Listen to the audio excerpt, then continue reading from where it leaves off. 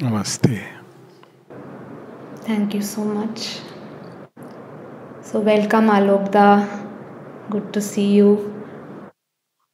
Some of you will already know Alokda is very, very familiar in the Mother Sri Aurobindo circles. Uh, to describe him, I would say he would like it that he's simply a child and a beautiful child of the mother. Like, that's the most valid description I can say. Apart from that, uh, Alokda is a, psychiatrist and he is living in Pondicherry at Sri Aurobindo Ashram and uh, he has uh, worked with the Indian Air Force. And most of you will be familiar with the YouTube uh, channel he has, AuroMaa, and he illumines us with his beautiful talks. So, without uh, taking much of everybody's time, I welcome Alok Da to sh- talk to us on integral yoga. Thank you so much, Alok Da. Over to you. Namaste.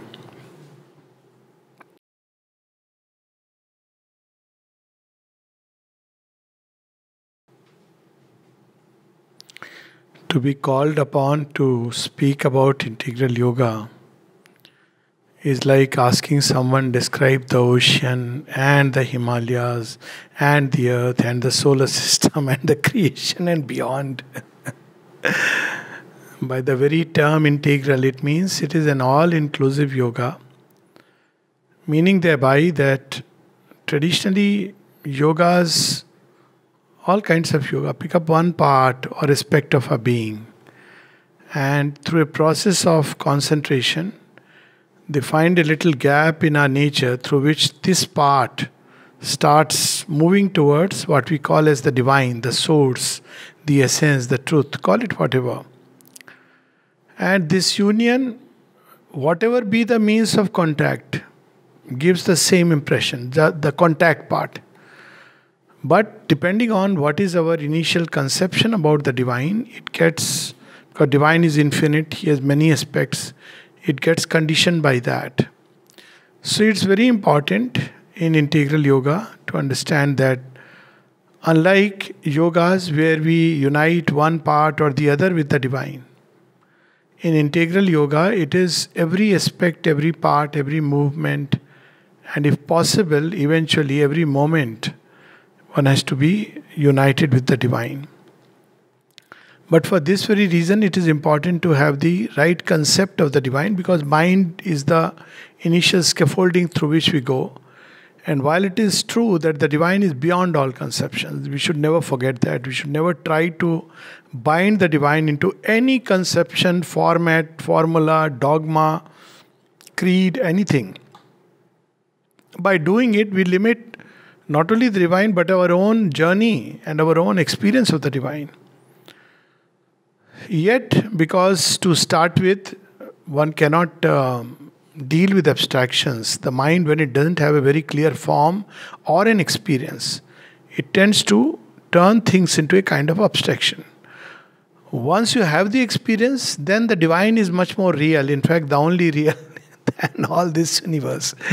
But to start the journey, it is good to have a very clear idea of the divine, which is consonant with what we are seeking. So, one idea of the divine is, which uh, we know is prevalent, is that this world is an illusion. Jagat Mithya, Brahma Satya, the divine is true. And if that be the originating idea to, through which we move and towards which we move, then the experience of the divine will be such that we will miss his meaning and purpose in the world. Because if the world is illusion, it's a waste. Of course, illusion can be understood in two ways. One is that it's a distortion, which is true. The other is it's a non existent reality which has somehow come into being and seems very real. If we take that approach, then it creates endless metaphysical complexities, but I am not going into that. So, the integral idea of the divine is that the world and God, however different and seemingly apart they may seem, and it is so to our seeming, yet in their essence are one. World is nothing else but an extension of God in time and space through form and name. The cre- creation is a act of the creator so that he can manifest himself. So once we have this conception that creation is a means of manifesting the creator, it's like an artist who paints or who writes a book. If you ask Vyasa, what are you writing? He would say, I am writing what is within me. I am expressing through these words, through this poem, through these characters. All these characters are within me. And I am expressing them through this wonderful, longest epic known in human history. And then you ask him, Tell me the essence of this story. He will say, It's the epic of the soul. You call it Mahabharata. To me, it is the epic of the soul, of man's ascension towards the divine. So, similarly, the divine is writing, or in through creation, he is manifesting himself. If this be so, then the goal of yoga will not be annulment in the divine, nirvana, salvation into the beyond, or any such like, which is the popular notion of the purpose of yoga, but becoming more and more fit and capable to manifest the divine in the way we should manifest. Even now, all creation is a manifestation of the divine, but it is partial, it is distorted. Why it gets distorted? Because our instruments, our personality, our very consciousness is not ready to receive the divine impulsion rightly and to express it. The instruments are very limited. Even if by some means the inner consciousness gets liberated and is able to even fuse, unite with the divine, yet the instruments are not ready. They cannot express. So we are in the position of a person, someone who knows that there is wonderful music in the heart of Shiva and even though at times he has glimpse of Shiva, he cannot fathom that music. And if he fathoms it, it's a momentary wonder.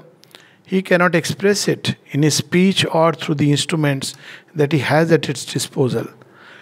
That doesn't serve the purpose of this yoga, at least, because in this yoga, it is not done for any individual experience or realization alone, but it is done for the earth Meaning, thereby, the earth is engaged in a kind of yoga. We don't know it.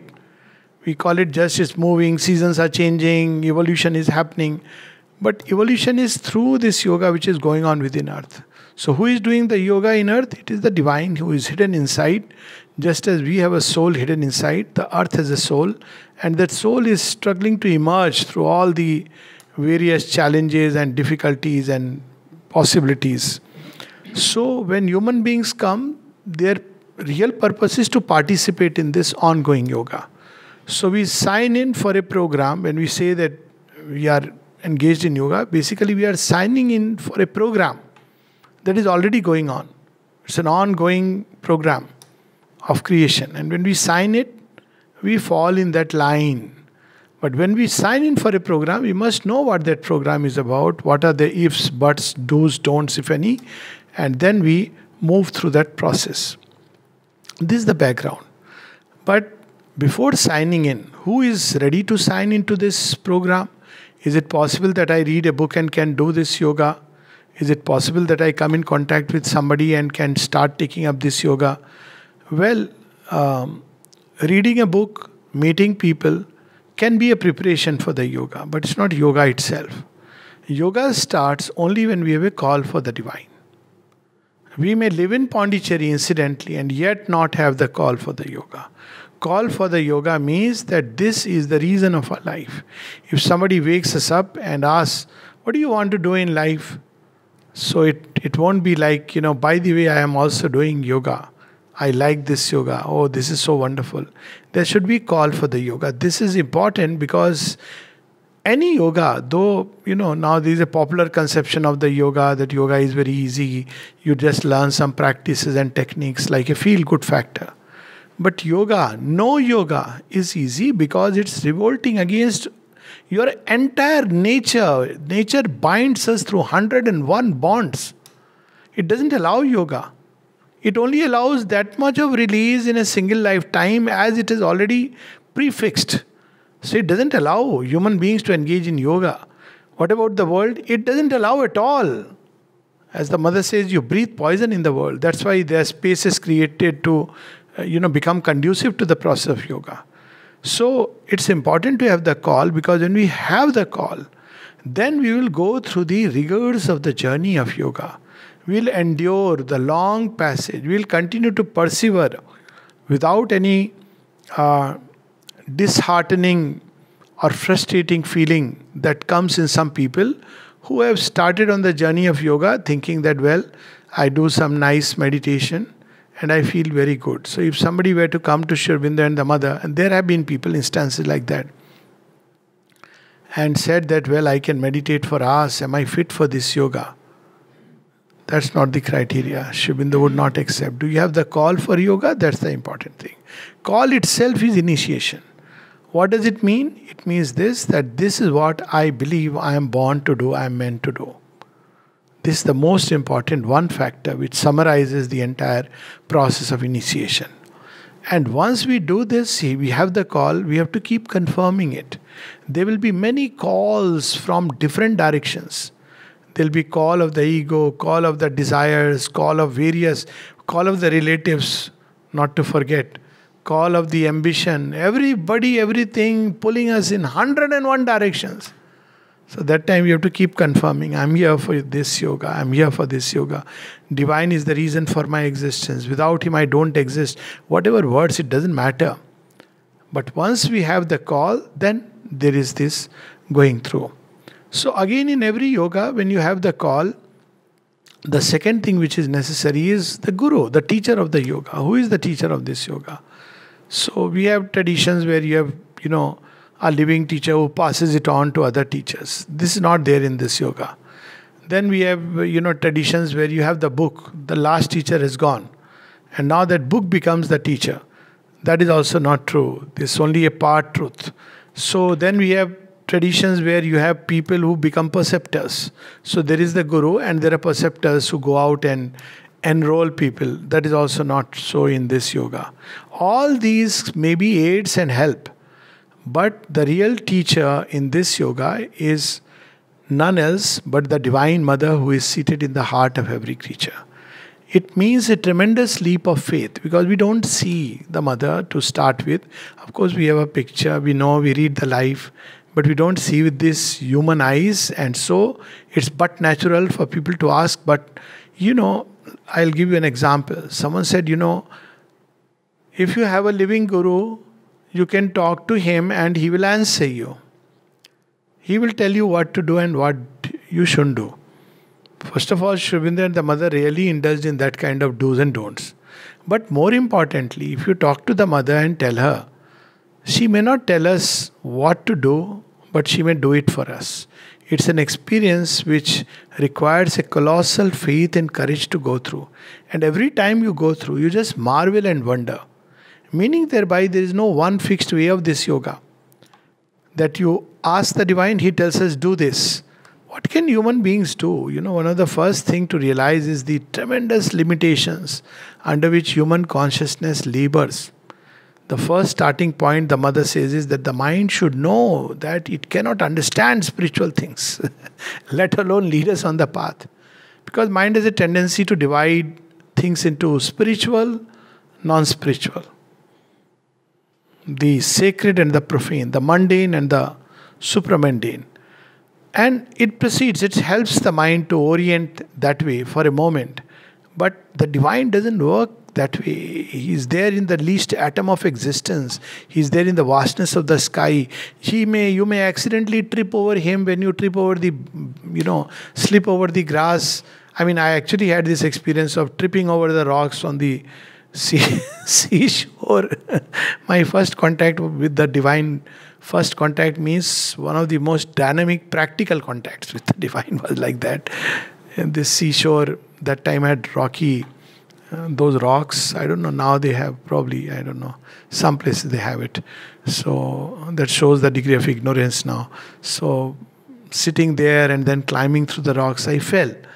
I fell and slipped because human beings fall. Nothing new about it. But it gave me the essence of yoga. As i fell i experienced some unseen hands holding me. Actually it's not a joke. And like a strobe my fall is being broken into bits and pieces, you know, strobe effect in dram- drama views. So I was just wondering if this is true. That means if you are destined to fall, divine will break it in nice way.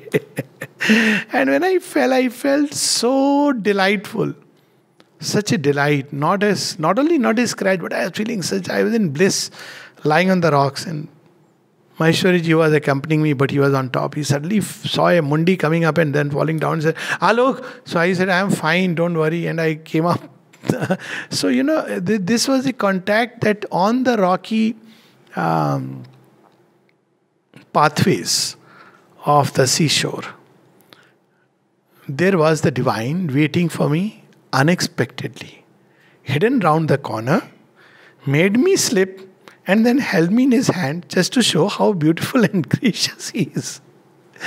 So, this yoga is not like sitting in meditation and that time we have a contact with the divine.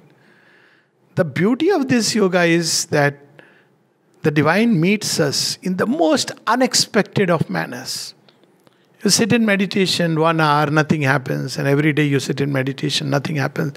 The people who tell me, you know, kuch nahi hota. I said, kya kuch nahi hota I sit in meditation. How long you have been sitting? Four years. I said, What do you mean by kuch nahi hota? He said, Meditation mein kuch nahi hota. Nothing happens in meditation. I said, Yes, because you're not seeing where it is happening. so, what do you mean? I said, Because it's happening outside the meditation. You are all the time thinking what is going to happen in meditation. Are you are supposed to forget what is happening in meditation. Then it is meditation to start with. If you are still remembering who you are and what you are experiencing the people who hear about samadhi, all kinds of things, they come here and go away saying, I didn't experience anything. So I said, Oh, you went there for an experience. That's why you blocked the avenues. Now you see, these are paradoxes. This yoga is about opening oneself wide and giving to the divine and the joy of giving to the divine. I was reading today these lines from Savitri, where Satyavan and Savitri get married. But what a marriage with the divine is witness. And Aurobindo says that when a lover and beloved meet and forget themselves in each other, it is the experience is very similar to a soul meeting God. You know why? Because the primary condition is the same, the ego must dissolve. So in intense movement of love, the ego is gone. Unfortunately, human beings are experts at creating boundaries. So after some time, oh, no, no, no, I shouldn't do that. I should use my rational mind. Don't lose yourself. Don't be a fool. But with the divine, you lose yourself and discover that that's the wisest thing you ever did in life. Because what we call as secure limits, comfort zones, are precisely what is the bar between us and the divine. These comfort zones are sometimes comfort zones of ideas. Comfort zones are not just material. What are the ideas? Oh, God is there. He'll takes care of everything. He takes care of everything. But sometimes his taking care can be, you know, unless we have tremendous faith, as Sri Aurobindo writes in one of his letters humorously. We are a community of just about six, seven people, and I have just enough money which will take me through the dinner. I know that God provides, but He has contracted a bad habit of providing the last moment with all his sense of humor. So, the primary requirement in this yoga is tremendous faith and courage. And it becomes very easy if you take it like, you know, a play, literally a play. When you have a play, it's like yoga is not an achievement. You're going to achieve, you're going to have this experience, comparing notes. So, what experience you had, what experience you had. Did you see a light? Did you hear a sound? Just play with the divine, be his child. And then one is ready for the unexpected, for the joy of the unexpected. Let me put it like that. So, who is the guru of this yoga? She is the divine mother. What is the advantage? You don't have to just write to a human guru who will receive it and then reply. And most of the time, most human gurus will say, Do meditation and you will get the answer, which of course you knew always. But for her, she doesn't go by whatever words are she goes by what her consciousness is and corrects it. I've shared this experience some time back, and maybe, you know, 30 years back, I was going through a kind of crisis. Okay, it's not that this is the only crisis I went in 30 years. A number of crises come in life and go. but I wrote 30, 35 pages of letter to the mother, all describing my woes. And I was the good guy in that letter, mind you. And everybody else was the complaining and all that. And complaining in the sense that mother tears flowing usual state you know. I sent the letter. Well things got resolved. Everything happened. But after many years i realized that my entire outlook toward that event was wrong. Now you see what did she do? She didn't respond to the outer letter. But because there was that basic cry within my being so she saw that my child doesn't understand anything about anything. Let me do the course correction. And how she did it, I don't know. It like it flashed to me over a period of time. Oh, that's how. Now she became the counselor, the mentor, the healer in the truest sense. What does a counselor do? He substitutes for us temporarily the God whom we are, who is within us, he substitute. He is meant to substitute, but he cannot if he has fixed systems. Psychoanalysis, this system, then he, he cannot play that role. So this knowledge which the divine educes from within, this is the real Shastra. So while there are two, one is the Shastra outside, we must read it without a doubt, try to make an effort to understand. But what this Shastra does, what is this book meant to do, called the Synthesis of Yoga or Savitri, the Life Divine? It opens an inner door, and then we discover that the inner Veda opens up, and then a kind of knowledge begins to reveal and unfold itself. But what is the condition for doing it? If we read with the hyper intellectual state with a dictionary by the side and with Vedanta in left side of the head and or well ideologies in the left side of head Vedanta on the right side and Tantra in the center and trying to compare notes it won't work. That's not how a Shastra is read. Some people say oh Aurobindo has spoken of Vedanta. There is Vedanta in his yoga or there is Tantra in his yoga? So you can say both and none. Sometimes good to have paradoxes for the mind. This is the only way. Why we want to brand and limit? So when we read a book like Savitri, what it does, read it with the joy. It's shown in those words. It is the words of the highest consciousness that has expressed itself upon earth. Now people may say, oh, you're already saying it's the highest consciousness. Nowadays one has to be careful. Are you making a creed? No, sir. But if you have a master, if you want to follow a path, then this is the need of the path. One can't go to someone and say, you know what, tell me this much little bit, I'll take it from here, I'll take a little bit there. Well, that's an approach. But for yoga, when we take to the yoga, in Sri Aurobindo's yoga, one has to learn to obey either the master within, and till that is awakened, the master outside. And he has given us enough guidance, more than enough. There is really speaking no need to really ask anybody about anything except for laziness. So it becomes a quick source of reference. or, of course, uh, there are some unique problems. So, what one should try open this inner door so that one is in contact with the mother within and one is in contact with the Shastra within. This is the first step of the yoga. Now, contact with the mother within, the path they have shown is very beautiful the mind cannot easily contact. It will enter into endless mazes. Who is the mother? Why she is there? Is this this embodiment? Is it the same as world mother? It will make you toss and turn, and while the divine mother will sit and laugh and feel amused. What is this child of mine doing? I am right there, and he's trying to analyze me. So that's one path some people take they are intellectuals can't help it. Or rather they are not intellectuals because the, if one is truly an intellectual one will understand this is the most foolish thing i am doing. Because if your mind could understand the divine then it's no more the divine. The mind is god. It's a very basic logic elementary logic.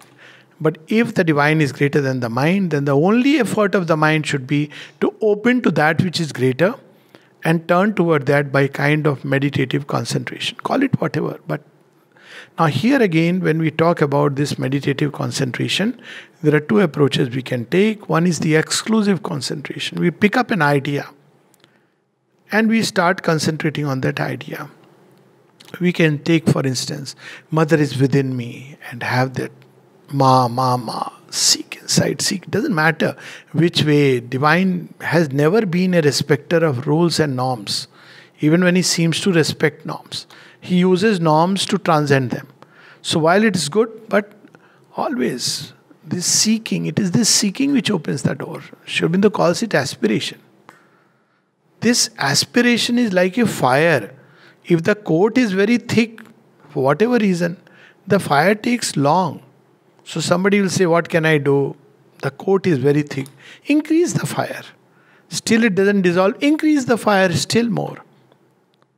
As someone says, you know, I am I tried to love this person and you know it didn't work out. What should I do?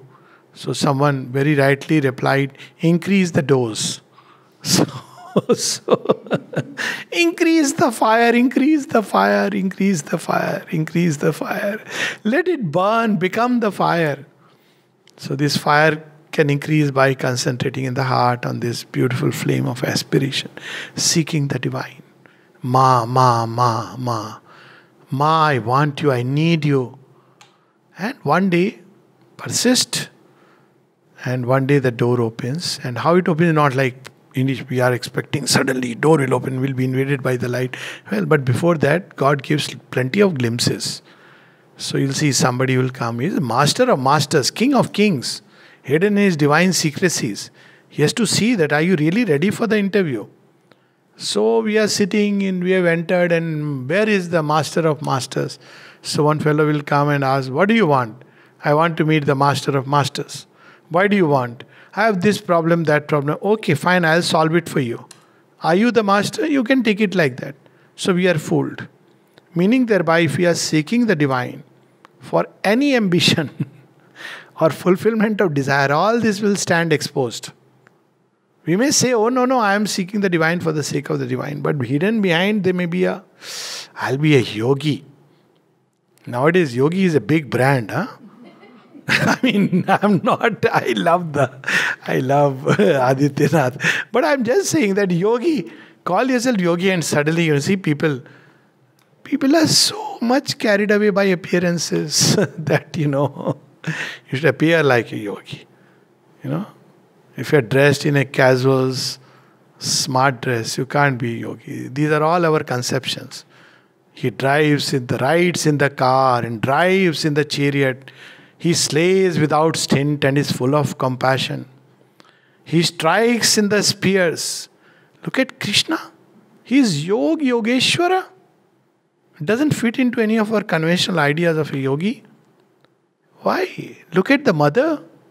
Sri Aurobindo also, because you know, till he came to Pondicherry, by then he had realized all the greatest realization of yoga.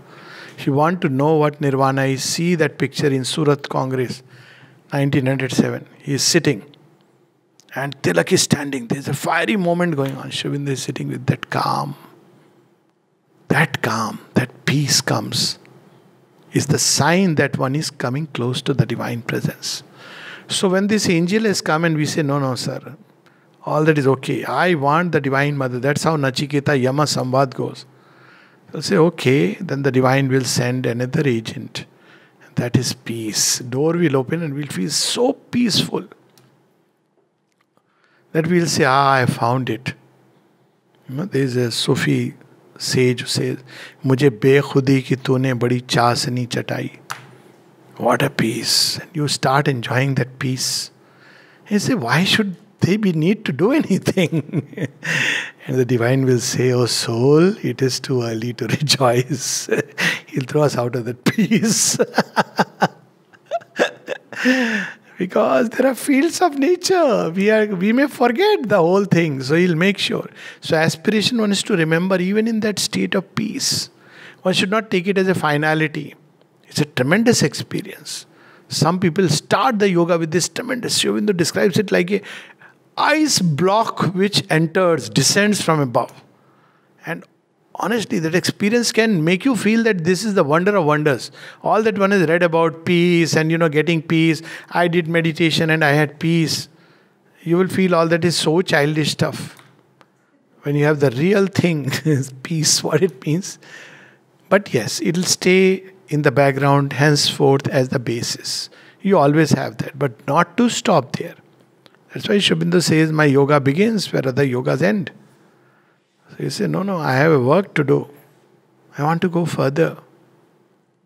Oh, then the divine will send joy. Now that's very wonderful. All the time there is this state of inner felicity. You are right there by the side of the soul. The soul is emerging peace and felicity. And one can stop there, but one has the aspiration. See, this journey of aspiration. No, mother, I want to serve you for lives, love you in everything, in the wicked and the vile, in the beautiful and the ugly. And then a time will come when will, she will lay her yoke, golden chain and the silver chain and the iron chain, call it whatever, and tie us to her. And then we are finished. the story of yoga takes a different turn. After that, we don't do the yoga. tell somebody, uh, one of the worst questions to ask somebody, how are you doing the sadhana here? Somebody is, you know, very serious and you don't know you know the more you grow in yoga you realize you don't do the sadhana you have been actually creating a problem in the sadhana the sadhana is done by the divine and you tell the person see mother does the yoga in us people feel you are holding a secret see sometimes the real secret you have given but secret for yoga is like no no he must be sitting in some kind of meditation there is some secret mantra He'll ask you, what is the mantra in this yoga? Just Ma. Ma or mother? Or it's okay. Call Ma, mother, Amma, anything. She knows herself in the heart of the creature. You know, in a, sometimes children have this so spontaneously. In a class of children, uh, one child asked me, What language does the mother understand? So I said, What about you guys? You, you give me an answer. So one child says, Odia. I said, Okay, why do you say so? She said, Because every time I pray in Odia, I get an answer. I said, Yes, but people pray in Tamil and get an answer. They pray in English, and there are dumb four footed things. The tree, banyan tree, prays and gets an answer. We don't even know what that prayer is. It doesn't know how to speak. Goes to the mother, Ma, they're going to cut me. Save me. And the mother calls the fellow, You were planning to cut mother? How did you know? I'd only thought about it. The tree came to me. The bird, the beast, this silent prayer. That is prayer. If we cannot aspire, pray. But prayer is not a book. From the prayer book, I do this particular prayer of the mother every day. Do it, it's good, wonderful, because you learn how to pray. But prayer is that which rises from the depths of the heart on a crest of emotion. That is prayer. And that brings a prayer, a master act, a king idea, can link man's strength to transcendent force. Then miracle is made the common role. So, this one going within and contacting her. But another is in the world contacting her. Everything at its bottom leads us to the divine. Look behind appearances of life, of the dumb stone, of the tree, and try to seek the divine. And one day there will be a disclosure. This is a very powerful meditation, by the way. One can try it while walking. That the Divine Mother in is, is in everything. Some people say, I don't have time, but time is all the time. so just remember her. You're sitting in an office space, remember her. You're talking to somebody, inside stay concentrated. And if somebody is very nasty, put her between the person and yourself. Trees, you're uh, driving, and on while you're driving, at your own risk, okay? stay concentrated on the mother. it's a delight. It's an all inclusive concentration. Doing an activity, cooking, stay concentrated on the mother, in the heart. It's such a joy. Uh, cooking for a person who is going to come and eat, and you're waiting, he'll appreciate your food. He is busy in his share market, no time for your food. And maybe if he appreciates, he will take something so foolish. Like when I got married, I was supposed to, I was told, please appreciate the food. This is the culture, you have to appreciate. So I didn't know, I forgot my usual thought. So I was given a nudge. You're supposed to say something. I said, yes, yes. The rice was very nice. And plain rice The only thing which didn't deserve an appreciation. but when you cook with the idea that is for the divine, then what is there? So, you know, in everything, weave the divine into life because he's already woven.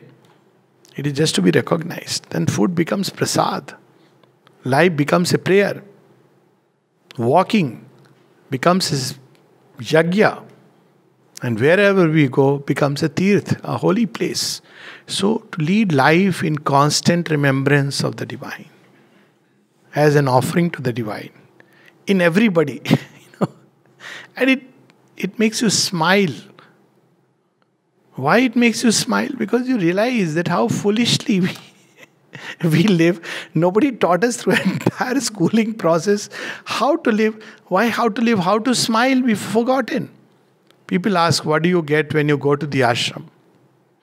What is the miracle? I tell them one miracle sure for sure. What is it? What happened? You had some sickness and it got cured. Said, all that is minor thing.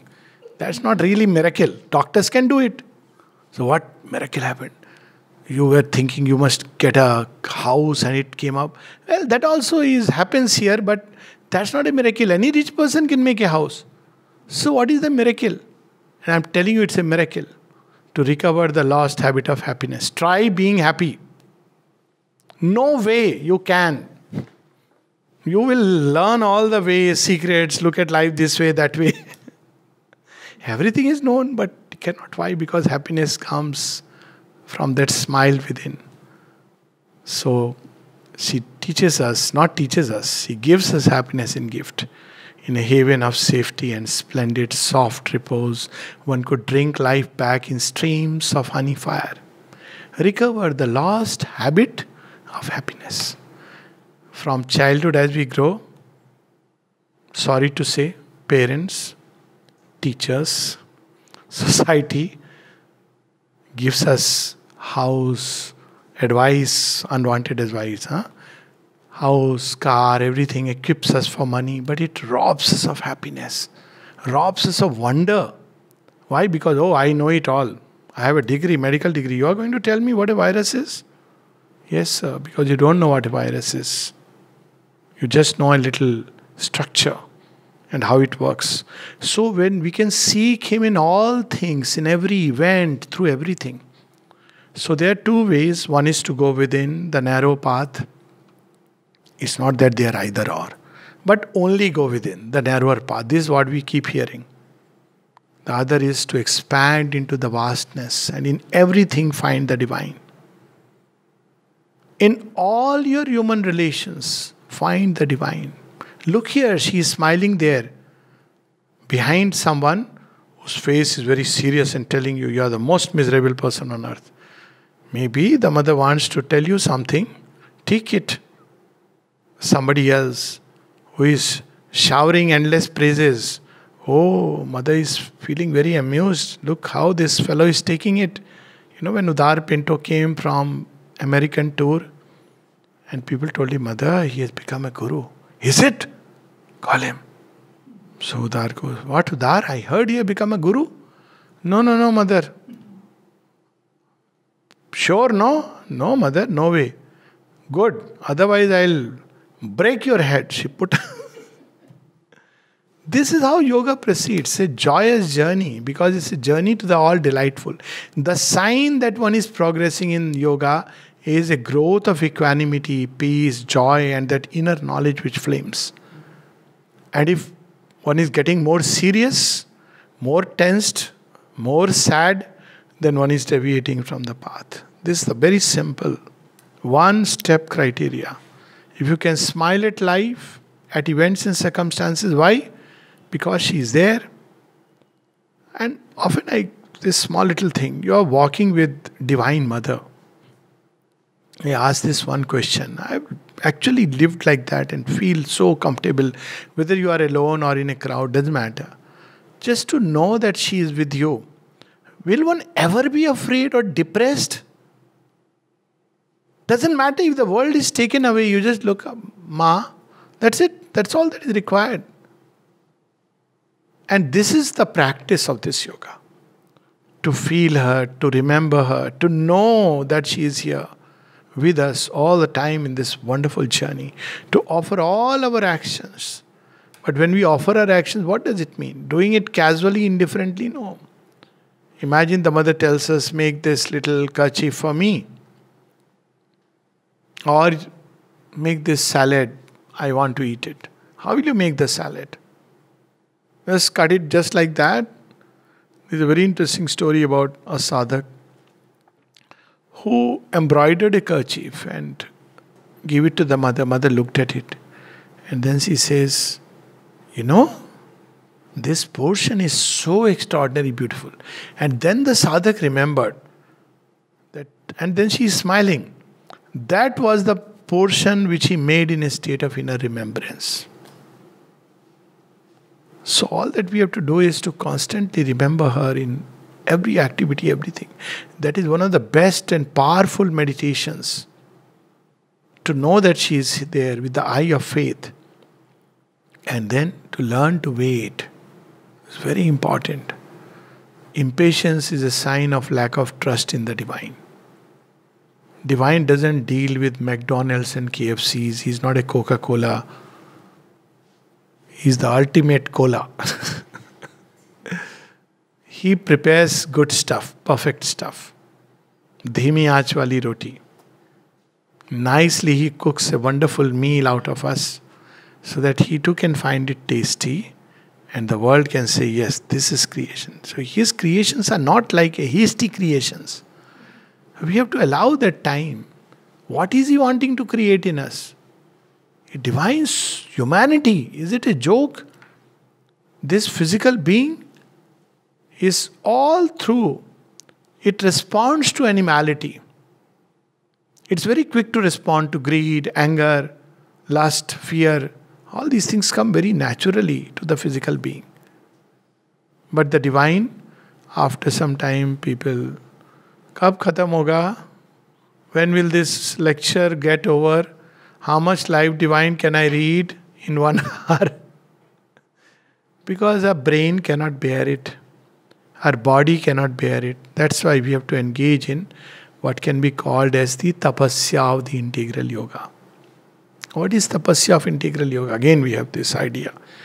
Oh, somebody's closed his eyes, and if he is sitting in a white or whatever color, Oh, he's doing tapasya, don't disturb him. You don't know the fellow is very disturbed inside. he is trying to control himself. That's not tapasya at all. Tapasya has nothing to do with a posture or gesture. What is tapasya? Tap, concentrate. To concentrate. Concentrate what? Energies. But if we don't have energy, why? How will we concentrate? If all the energies of my life, love, seekings, knowledge, they are all the time scattered everywhere, how will we concentrate? There is nothing left to concentrate. So, therefore, conserve the energy. Don't gossip. Don't throw it out in all kinds of useless chatter. What is happening in Ukraine and Russia? Okay, God is there, He look after. It is good to be concerned, fine. But don't add to his problem by forcing things. Third World War is around the corner. He's trying hard that you know human mind can free itself of this idea of third world. War. No, no, pakka. See, this is going to happen. And people want it. Just hold on. Leave it to him. It's too big a cosmic problem. There is a problem which is manageable still. Manage it. The Russia and Ukraine within us. Two fellows fighting, destroying each other. So try to harmonize the being, and that is only possible when we do this. What is tapasya? It's to integrate, it's to bring things together so that in everything the divine becomes the single occupation. Now, this single occupation doesn't mean all the time that I am, no, I am not speaking to anyone, meeting anyone. No, in every meeting, in every encounter with life, thousands of encounter the attitude should be to discover the divine inside to serve the divine to love the divine to know the divine. And then all discloses the unseen beloved. So to live with this idea of the divine to be so occupied with this idea to wake up and sleep with this idea. And if you do that, then as I said, an inner door opens, we discover something very interesting. The most important discovery, the supreme discovery, as the mother puts it. That all this while we thought, I am my name, my surname, my qualification, my degree, my job, my occupation, my parents, my country, my mm, language, my custom, my tradition. All this time I thought I am my thoughts. I thought I am my feelings. Am my willings. All none of this is me, this body. And this is not a you know, the, in the traditional Jnana Yoga, you say, I am not this, not this. Don't do that. Concentrate on who we are. Sri yoga, it's instead of saying, I am not this, not this, Instead of thinking, oh, the past, some people say, oh, but I am very burdened by the past. The only way to get rid is to move towards the future. Concentrate upon what I want to be and not what I was and even what I am in the present formation. All this is there as a part of my personality. But I am none of these. And when one identifies the soul, separates from the field of nature, then one knows oneself. It's a marvelous discovery. And everything can become a fuel to go towards that. If one is, let's say, alone in life for whatever reason, then to say, ah, what a joy, I can seek Him. I have time to be with my beloved.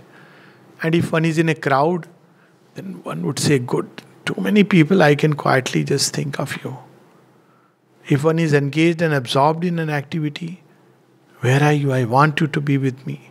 I may forget you. You do. You make sure that I remember you. So many ways, countless ways. There are plenty of ways. We should not fix one way. And we can deal with the divine as a father, mother, friend, lover, master, teacher, any which way. All relations are valid in the yoga. And then this whole thing, after we have discovered it, our field of nature must become, must be tuned so that it becomes a fit instrument and vehicle. That's another tapasya. If the mind has to become an instrument of the divine, it must, particularly speech, we must learn the concentration of speech. We should not let any, you see, speech and mind, they are very closely connected. Speech, thought, mind. So, tangible element is speech. It's very tangible. Not to let this speech be driven by all kinds of impulses, especially impulses of ill will, hurting, harming somebody, falsehoods which are projected by the speech. But instead, to learn to be concentrated in speech and in thoughts. Every time the thoughts are running in that direction, this direction, to catch them and bring them back. This is the tapasya tapasya of the heart to love people unconditionally, not just people. There is this whole creation, but for ourselves to reserve all our expectations only from the divine. Then one is hurt proof, but not necessarily that others may not get hurt from such a person. That's destiny because you're taking to a route, a path. But for yourself, you know that it's the divine from whom you draw sustenance. And if you have reserved all our love to the divine, then with others to have a constant goodwill. Even somebody who is trying to, whatever way, speak ill of you or something, have this goodwill. Because every ill will is to obstruct the divine work in the world. Goodwill is the way we participate in the divine world. Why? Because in every human being the work is going on and everybody is, what is it called? Project is under, some are under maintenance, some are under repair, some are unfinished products, some are where product thought it is finished, but a portion was chipping off, sent back to the mint. So all this is going on in everyone. Not to judge, condemn, and all these things but to observe all this with a calm smile in a state of equanimity. And then, if we do that, the heart begins to become a vessel of the divine love. Vastness, very important. Mother spoke of wideness and plasticity. Wideness, not to be narrow. Thought Narrowness is through dogmas, fixed dogma. Oh, he is a non vegetarian. He is deviated from the path. Oh, he went went to the some place. Oh, he has deviated from the path. When we are seeing all this, our state is like that man who was a sadhu, seemingly, and sitting in front of a woman who, well, was entertaining different men on different days. And he would say, Chi, chi, chi, what kind of woman? Horrible woman. She will surely go to hell. And then he will watch who is the next man going. And both died. And the, the, the sadhu goes there and he feels he will get a royal welcome. But meanwhile, this woman also comes. So he says, Okay, take her first. And he says, You will have to go to heaven. He says, Something is wrong. He waits for his turn. He is curious. When he goes, he says, Well, hell and heaven don't exist that way. But, anyways, he goes and says, What about me? If she has gone to heaven, I would go to the seventh heaven. Sorry, you have to go to have a sojourn in hell. What? You know what? You were all the time thinking of her deeds, your imagined real and unreal misdeeds. So you were in your mind in an atmosphere of hell. Some people get a perverse enjoyment in thinking of deeds that others are doing which they disapprove of and which unfortunately or fortunately they can't do. So it's going on in the mind, you know. And the woman said, Okay, what about the woman? Every time she slept with a man, she said, What is this life, Lord? But I can't help it. I have to earn money. You be the man. Every man was him. She said, What can we do? This is the way it is marked here. We don't go by what is visible to the mortal eyes, we go by what is unseen by the mortal eyes. The attitude, so important in this yoga. See, Mother's 12 attitudes goodness, goodwill, kindness, perseverance, patience, aspiration, courage. This is the attitude we must cultivate. This is just one or two I have touched, but most important attitude, she says, is sincerity. Sincerity is a three step process. One is mental honesty, not to deceive oneself. What you tell others is a different story, but don't tell yourself a lie. You know what? I'm the best guy in the world. Everybody is. This is basic. This one doesn't have to do yoga to understand it. See things as they are inside. Second is tell the divine as you see things, but always ask that may you see better understand better, grow better, have a better will. And the third is when everything wants to align only to the divine, so that what we will is what the divine wills, or what the divine wills becomes our will. So, this way, we do engage in the tapasya of works, tapasya of will, tapasya of life, where every moment of life is turned into a prayer and worship. And finally, tapasya of the body he speaks about it. The body should not be driven either by mental concepts or by their vital greed desires. It will come again and again. But to give to the body the right amount of nutrition, health, exercise, enough rest, basic things. And most importantly, engage this body in some work for the divine. And if there is no work, apparently, there's always work. Every work can be turned into service of the divine. There is a work which we can turn into service of the divine by attitude, and there is a work given by the divine. But doesn't matter either which way. But one of the simplest ways to engage the body in tapasya is read Sri Aurobindo and write, or the mother. Read, read it aloud and write. See, different parts of body are engaged. The eyes, the brain, the hearing, the nervous system, the hands. So, this way, slowly, by serving the divine, the body engages in a kind of tapasya. So, this is how the yoga proceeds on a very vast landscape. But this doesn't, all this touches only a fringe. The real journey begins, or rather, the real challenge of yoga is when one begins to enter into deep seated resistances of human nature. In the beginning, the journey is very smooth because, well, one is not encountering parts within us which resist the divine. They do resist. And how they resist? By revolting, by disobeying, by going their own way, independent way. And it's a very, very long, painstaking process. Mother says you have to treat the recalcitrant parts as you would to children. You know, those who have children will understand, or those who have old parents will understand what is to be done. It's so difficult. One has to keep telling. And this, each one has his own point of resistance. The mother used the word shadow. Don't see other shadow, huh? because it's so easy to see. Look at that man. It may not be your difficulty. Yes, but you have your own difficulty. Each one has his own unique difficulty. And just look at that and how to work upon it. One process is rejection. Mother said, offer it. Look at this difficulty every time it comes up. Ma, take it. Ma, change it. It's a very, very painstaking process because the deep rooted resistances, minor resistance will just drop off minor resistance i mean smoking drinking eating non-veg all these things people think are very big things. No.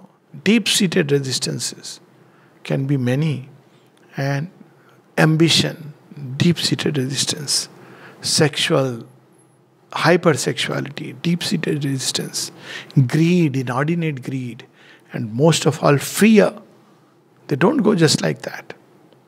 So keep offering it and little, little, little, little, keep putting the will, keep putting illumination. This is not what I am here for. Then eventually they become thin and thin and then they go away. When they go away, then the being is really ready for the transformation. This is the broad landscape of yoga.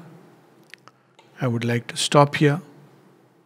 As I said, it's a very long, tremendous, beautiful journey People find it difficult when they walk without the divine. Now, we may find it strange because we may not really trust that the divine is walking with us. We may believe that no, no, all is my own effort. Divine says, okay, when you need me, tell me. Till then, I am resting and relaxing. You know, he loves to little bit backseat, retiring predispositions. Sri Aurobindo used the word. Okay, go ahead, bacha. He said, Lord, this, oh yes, you remember I am there. And delightful when you are conscious that the divine walks with you, holding your hand, carrying you in his lap, her lap, through all the trials and tribulations of the journey. So, central secret is this opening to the Divine Mother, surrender to the Divine Mother. Surrender also is a three step process. First is central surrender. I am yours. Keep reminding till one day he says, Okay, I know you are mine. I am yours, I am yours. Take my destiny, mold it the way you want. But then afterwards, don't say, I told you to take my destiny, but you know what? I thought things will be goody goody. Say, oh, come on.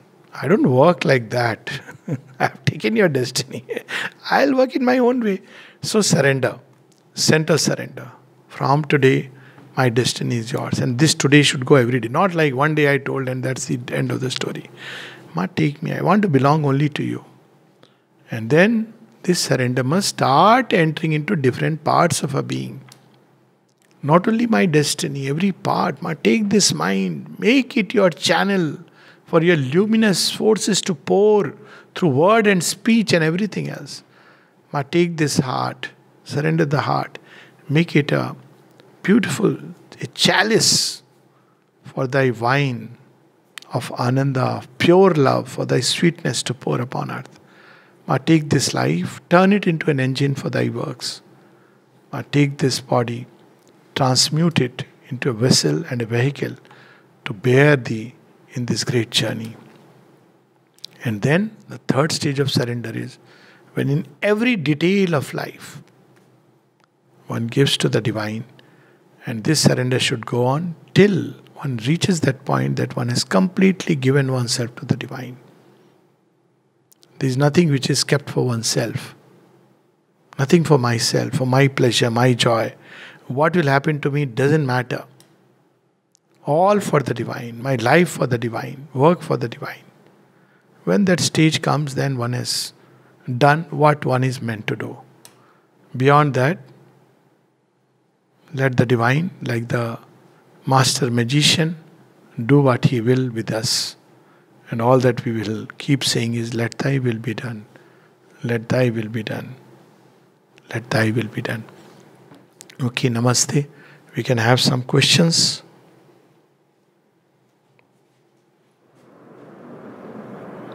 Yeah, Nidhi, you can go ahead, unmute and ask.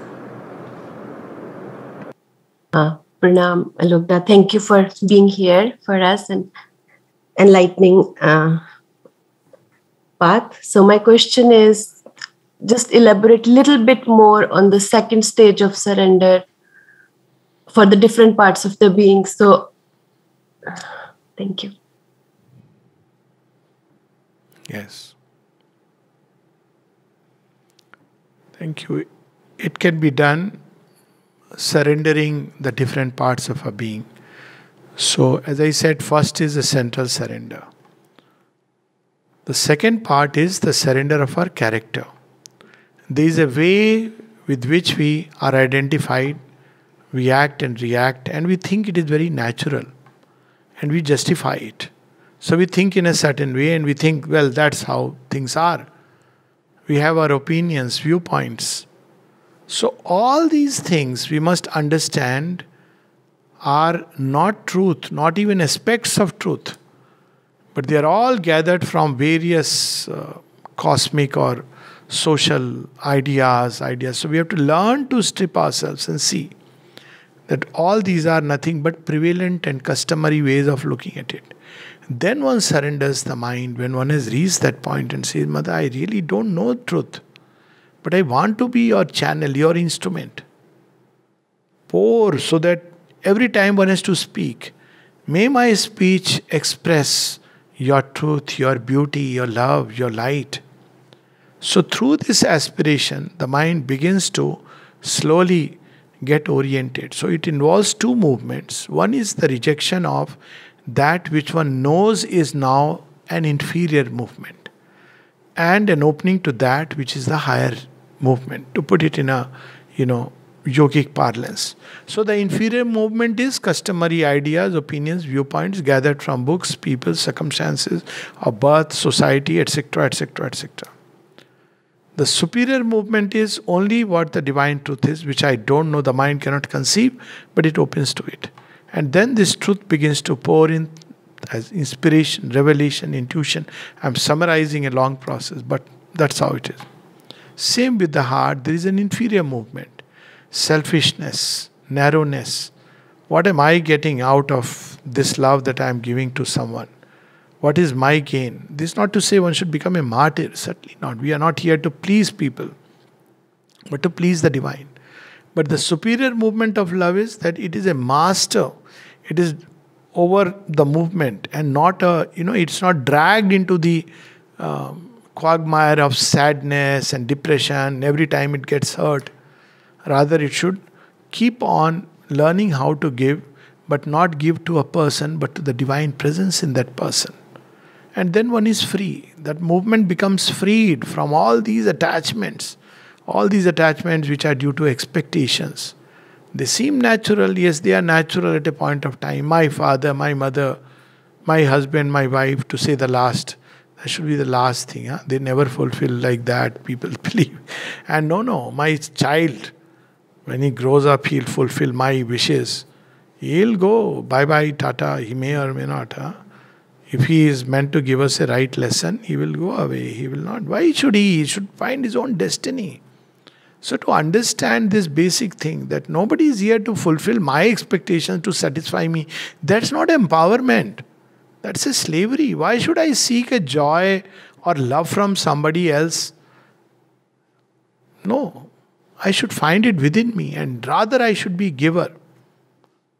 But I cannot be a giver till I have opened to the source of infinite love. So love the divine in one word. and if you cannot love the divine, know that the divine loves you. That's fair enough. That the divine loves you. And see, it will begin to make the magic. Every time you are hurt, people, oh, so and so turned out to say, Mother loves me. That's it. Oh, let me love the mother. She alone is worth loving. So, this way, the heart enters into a superior movement. Same with life. This is the surrender to the mother. My love, the energy of love, which I was throwing here and there, surrendering to 100 people. Now I put it at your feet. I want to love you. Give me true devotion. Give me unflinching faith in you. Give me a devotion that never gets tarnished, rather, it grows more and more luminous through all the trials and tribulations of life. I remember reading a story in childhood, you know, you must have heard about Dhruva, and Dhruva is known to be a great tapasvi, and people take Dhruva tapasya means he's sitting with all this rain, all this. That's just the outer thing we see. Why? Because when the Lord appears before Dhruv and says, Ask anything. So he says, Give me akhand avichal bhakti in your feet. That's all he asks. Now, when I read this story, I said, My God, so much he did to ask only this. Now I understand. This is the only thing worth asking. Akhand, unbroken, continuous, avichal, that which never gets shaken by anything. Bhakti for you. Ask for bhakti, ask for love, for the divine. Then, of course, as I said, life, we'll see how it is engaged in hundreds. Even when it claims to do mother's work, it is still eyeing on praise, it is still eyeing on hundred things. Not to speak of when we are leading life normally in the world, but to it completely ma through this work. It may be big or small in the world's eye, no more now. I want to serve you. Take this work as yours. Make my life strong and powerful enough to serve you. I am weak in my body, I am weak in my life. If one is, Make this body and life your pure and perfect channels. A very beautiful poem of Sri Aurobindo, Surrender, where it talks about this in detail that how mind, heart, bodily life, all existence. So we have to do it in detail, step by step, and then every movement, every activity, whether it be prescribing a drug, I mean, I'm talking as a doctor, going and taking a class, sitting on the counter, distributing food, eating, everything should turn into a sacrament. That is the detailed surrender. These are the three steps. Thank you so much. Thank you. Yeah, Subhashri, you can unmute and ask. Uh, namaste, Alokda. Um, so, in the under sincerity, you mentioned about how we align our will with the divine will. So, one thing I've always wondered is how to identify. Suppose we understand that that is the divine will, and what are the steps that we take uh, in our daily life to ensure that we always have that alignment. So, how to align ourselves with the divine will and sincerity? They are closely allied. But there is a very subtle difference. So let's put it first how to align with the divine will. First, one should get rid of all preferences and desires, which itself is not easy. So, the better way to proceed step by step is Nishkam Karma of the Gita. Do your work, it's your work, do it your way and naturally, but do it without eyeing the result. This itself is a very big step, very powerful step, very liberating step. If you get something, take it as a gift of grace. If you don't get anything, take it also as a gift of grace. Be grateful for all that comes, life gives us. But do the works only for the joy of working in the spirit of service to the divine. If one does that over a period of time, one begins to get rid of preferences and desires. Because why we prefer a particular work? Because something we are going to get. Why we cherish a certain kind of work? Because the desired self tells us these are the things. So to get rid of preferences and desires, preferences again are stem from the ego. This work is worthy of you know um, me, this work is low work. So all this should go away, meaning thereby all work. At home, we have hundred of things we do anyways. So all this should be done with the idea that it is the divine work and done as a service. Then, with that, one should practice a growing inner peace and equanimity. Equanimity when weather is not good or weather is too good, even too good weather. Oh, today is such a lovely weather, let's go out lovely weather, you can be quite happy. oh, it's a horrible weather, my God. Pondicherry, how much is the weather? How much is the, you know, temperature, humidity? And people discuss. Come out of that. Praise, blame, guilt, all these shocks of life, contrary opinions, ideas people hold. So, practice of equanimity is a fundamental practice to yoga and when we have done all this, then the divine will begins to emerge as a kind of indication, as the psychic being emerges. But till then, we should take two attitudes. One is whatever we do, we should try to think of three things. One is truth, second is beauty, and the third is good. Align at least with the truth, truth of our own being. It's not about truth as the world knows or sees it truth of our own being. Be true to that. And second is beauty. And the third is it should bring out the best I only could. And then the third step is that we may not always know what is the divine will or what is the best way to do things. But when we have taken the yoga, we want to unite with the divine at least this much we will know that this activity is creating in me a kind of veil. It is throwing up muck. It is creating, uh, you know, a state of agitation, excitement, depression, which is putting me into a hole. Meaning thereby there are things which come between me and the goal that I have chosen. So we must very carefully identify these elements and cast them away. It's not just about I am depressed. It's to look why I am depressed because there is a false movement, an egoistic movement, a wrong movement. And I must try to eliminate that movement. That is sincerity. So we see that they are very elite. Sincerity means to be transparent before the divine, to see things as they are, not to just give a justification all the time. And then the basic thing about sincerity is that any movement should help us come closer to the divine. And if it is taking us away from the divine, then we should discard that movement or realign it. If you cannot discard, realign. Keep realigning till it becomes in tune with the goal that we are pursuing. That's how sincerity is developed. Ultimately, sincerity is uplifting all the movements of which our being is capable and organizing it around the highest ideal we have conceived. The high, highest ideal may be serving the divine, loving the divine. So, in every movement, must become a service of the divine every movement must become a love and adoration of the divine. So that way we keep uplifting all these movements and slowly they become more and more sincere. When they are sincere, it automatically gets aligned. But it becomes very easy if the psychic being is brought out. So, first step should be to bring out the psychic being. It's very difficult to do all these things with the mind because the mind can easily swing views, it can, uh, you know, give a very suitable and neat justification. So, Keep concentrating in the heart to find the soul within, the divine presence within. At the same time, keep practicing Nishkam Karma and equanimity, dedicating all we do to the divine. This is the simpler, and uh, in essence, this is the way to remember and offer. Remember the divine and keep offering everything.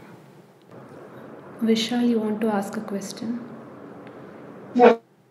Namaste uh, you mentioned that nobody is there here to fulfill our expectations and that attachment is the cause of misery. Uh, but my question is if one is already attached or entangled or uh, in such a relationship or something, how do we actually bring ourselves out of it, extricate ourselves out of it? That was my question. How to actually do it in a very practical and. Uh, yeah. Yeah. Yeah. So the practical way is see if there are two ways of doing it. One is you cut the attachment, but it's very difficult, you know, and it brings pain as a backlash, and it's never good to uh, take the journey by bringing pain and suffering to everyone. But it can always be turned into a mint of love. So turn attachment into love, give love, goodwill unconditionally. At the same time, for our own, you know, uh, our own, uh, I won't use the word quota of love, but our need of love, turn to the divine. So when we do that, we'll actually be able to make this relationship more beautiful because other person may expect from you, but at least you are not expecting anything because you are getting your expectations fulfilled from the divine. At the same time, there is a another kind of loop in which one may get caught. And that loop, I mean, I know it by practical experience. You may end up saying, okay, I don't have any expectation, but I must fulfill the other person's expectations. So that's where one has to remember that the line can be very thin. So, yes, we must love unconditionally, be full of goodwill, continue to do, give love, help, be full of goodwill, everything. But the moment you feel that this is now entering into the quicksand where attachment is becoming a tool to drag you into a quagmire, gently, there are two ways of doing surgery. One is butchery, snapping it, another is a fine, delicate surgery where you slowly tweak it and come out of that kind of entanglement. So you keep the love intact. Don't expect from the person, expect from the divine. But as far as the person's expectations are concerned, be careful that this expectation doesn't lead to what we can call in Indian, dharma, Indian thought as a dharma, meaning thereby taking you away from your own true law and way of being. That is what one should be careful of. But if you turn to the divine, you will see that you will get so much abundant that human love will look very insipid. It like, you know, you feel you will feel stifled, not comfortable because one has turned to the divine. So turn this energy of love to the divine. You don't have to break from the person. That's what I mean. You have to just keep changing that attachment into mint of love. Mother was asked this question What should we do if human love comes our way? She says, I mean, it's like turn it into a yoga by um, loving the person without any expectation, selflessly, with utmost goodwill. That's the path. Of course, there may come a point where the person is misusing this and begins to, you know, uh, as I said, use your goodwill to finish your own journey. Then you have to probably come out. But if one is strong enough, one doesn't need to come out. One can just keep offering to the divine and stay with the divine. Do your work, which is not just about a relationship. Relationship is one aspect of life. There's a much greater work that one is here to do. So concentrate on that. Inner growth. That's the gentler path. Chetna, you want to ask? Thank you, Alokda, for the wonderful session. And uh, I have two, three questions. Uh, the first one is actually, w- whatever question I have, you have already answered it, and then there is another layer. So, uh, so with regards to equanimity, I uh, often find myself getting hurt or you know getting unbalanced uh, by opinion of others like um, even if i know the truth and uh, sometimes i recognize that it is a projection of the other person and uh, yet you can't always say it so yeah you know what um, can I answer this? Because today only. Yes, please. you know what? Sometimes it's good to be recognized as a villain. then you don't have to prove yourself and always try to be, you know, I am a good guy. No, why not? Okay, just say that, okay, in your eyes, I'm a bad guy. That's it. That's the end of the journey. Then you will be relieved, the other person will be relieved you won't be hurt anymore. The other person will feel justified. What does it matter? God knows who you are. So sometimes the easiest way, I am telling you from practical experience. Yeah, yeah, yeah. Accept it. Okay, fine. Yes. you will you will be happy. The other person will be happy. And you will know that whatever I am or I am not, it is she who is there to, you know, take care. Yes. Sometimes good. Because to maintain a goody thing and based on human standards to start with is a near impossibility. Don't try it. Otherwise, you'll be vulnerable to many hurts. So take it that's okay, fine. I am this person, that's it. yeah. Thank you. Thank you. Yes, thank you. My second question is about aspiration. Uh, how to develop the true aspiration. Sometimes one also wonders what is really worth aspiring for. Yes, that's the important part. To give a concrete form to the aspiration, because aspiration remains otherwise vague. Yes. Divine means what? So that's why aspiration should be given a form. By form, I mean, why am I seeking the divine? So it could be I want to serve the divine. Now that becomes a concrete aspiration. I want to love the divine in the true way. That becomes a concrete aspiration. I want to become a channel or instrument of the divine. Now that's an aspiration. I want to unite with the divine. Perfect aspiration. I want to, uh, you know, in manifold ways relate to the divine in all the vastness in every way. So give form to the aspiration, and that form has to emerge from each one within. When you give a form to the aspiration, it becomes very easy. Otherwise, it becomes nebulous, like a flame inside. Some people say concentrate on the flame. Well, that's, you know, you have to give it, a, that's what Mother has said. Give it a concrete form. And the concrete form in yoga is uniting with the divine, serving the divine, loving the divine. No one can aspire for knowledge, aspiration for light, for wideness, for peace. Give it a form. And there is no need to have one form. There will be one core form. And then it can take different shades at different points of time. For example, okay. yeah. uh, my uh, on the first day during uh, silence, I realized like my intention for this course is to know what is my core aspiration and uh, right. and to center my life around it because I feel like at times, you know, I've tried many things and uh, I to know my core aspiration. So, is there, yeah. So, it will emerge. It will emerge. Obviously, course, talks, reading, they are help. But allow it time. One day it will emerge. Keep ask. You ask the divine that tell me what is my core aspiration or give me aspiration, then one day it will emerge. Automatically, you will see that it begins to take shape and form. Trust the divine and pray to the divine to give you aspiration and show you what do you really aspire for. Yes.